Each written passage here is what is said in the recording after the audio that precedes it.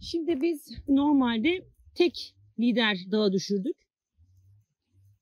Lider dağa düşürürken en güzelini seçtik ve tek bıraktık. Beğendiğimiz lider dalın 2-3 santim üzerinden de burada gördüğünüz gibi kestik.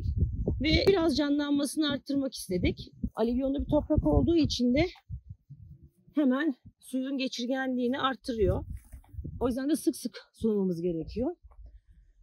Damlama sulama sistemimiz bitmek üzere 2-3 gün içerisinde.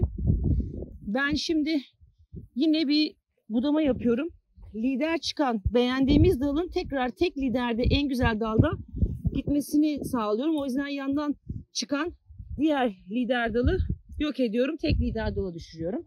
Bütün bahçeyi bu şekilde budama yapacağım. Burada önemli olan güzelini seçebilmek, iyisini seçebilmek, e, onun büyümesine izin vermek.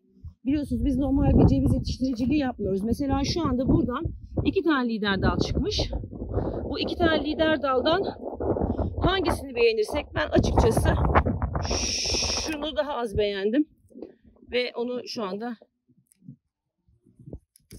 hayattan kopardım. Burada da bir tane var. Şunu da hayattan kopardım. Bu arkadaş böyle devam etsin. Ufak bir hastalığımız var. O hastalığımızla ilgili olarak da e, bir gübre vereceğiz. Topraktan bir de yapraktan gübreleme yapacağız. Biz bu sulama işinde biraz hafif kaldığımız için çok da cevizlerin hızlı büyümesini sağlayamadık. Ama bundan sonra artık su ile ilgili sıkıntımız olmayacağı için biz de bunu tamamlamış olacağız.